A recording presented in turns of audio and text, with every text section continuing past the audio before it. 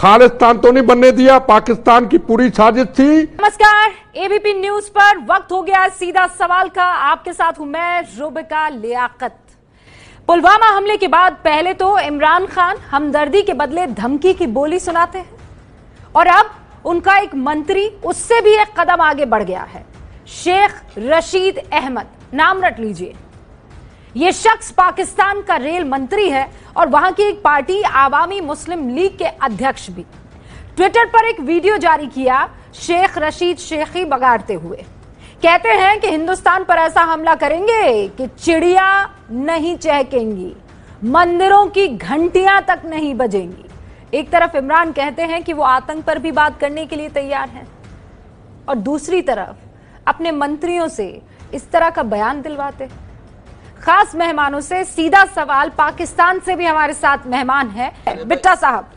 अच्छा मैं एक बात बताता हूँ आपको। चलिए एक नहीं, दूसरी एक बात सेकंड एक सेकंड एक सेकंड सुनिए सुनिए सुनिए ज़्यादा साहब आगे भी कई बार अब डिस्कशनों में हम इकट्ठे हुए हमें यह बताइए कि कभी हिंदुस्तान की तरफ़ से पाकिस्तान में जो आप कश्मीर में करते हैं जो आईएसआई करती है जो मौजूदा सरकार आती है आईएसआई के मुताबिक चलती है क्या हमारे हिंदुस्तान की तरफ़ से कोई ऐसी बात हुई?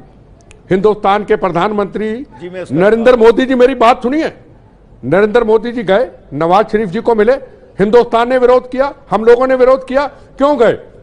कि पूरी दुनिया को बचाना चाहते कि हिंदुस्तान अमन शांति चाहता है हिंदुस्तान जंग नहीं चाहता है हिंदुस्तान कत्लेआम नहीं चाहता है।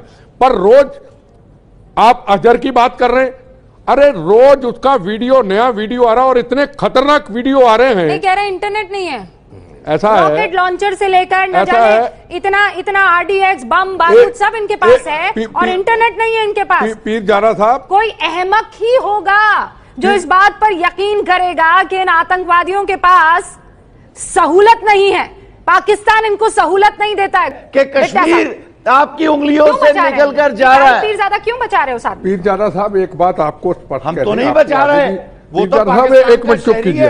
और आप बात बात सुन लीजिए। हिरासत है। बाकी जनरल बख्शी साहब आपको बहुत अच्छा जवाब दे देंगे।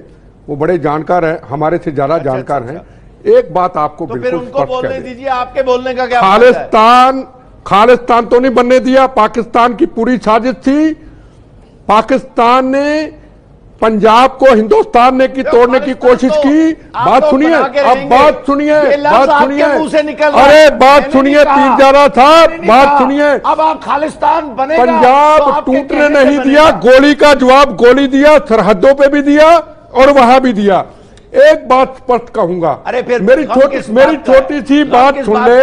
का ये उन्नीस का भारत तो नहीं है ये आज का भारत है। जैसे रूबी की जा ने बोला तो कि कश्मीर की तरफ़ आने की कोशिश मत करना। हम बिल्कुल स्पष्ट कर रहे एक छोटी सी बात सुन लीजिए। पाक तेरा खाब एक नज़ारा ही रहेगा। तू किस्मत का मारा है। मारा ही रहेगा। तेरे हर सवाल का जवाब करारा ही रहेगा।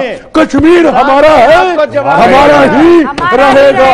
कश्मीर में आने की कोशिश मत करना। हमारा है, ये हमारा उन्नीस ही सौ रहेगा। का भारत नहीं है। हम आपको बता दें दो देंगे। लाइन ये दो लाइन और हम काफ़ी है। सोचेंगे नहीं। बहुत ही है। इमरान जो है, है। नहीं नहीं उन नहीं तीनों ये जेल में बंद क्यों हुआ है? ये पाकिस्तान का शहरी जेल में बंद क्यों हुआ है? मुझे ये बताइए। क्यों बंद हुआ है? क्यों बंद हुआ है? पाकिस्तान का झंडा फहराने के लिए। क्यों बंद हुआ है? बताइए। मेरी बात सुने। मेरी मेरी बात सुने। हाँ, अगर आप किसी के खिलाफ एक झूठ झूठा कोई बैन अवी करारदाद पास करवा दें तो हम कानून के पाबंद लोग हैं।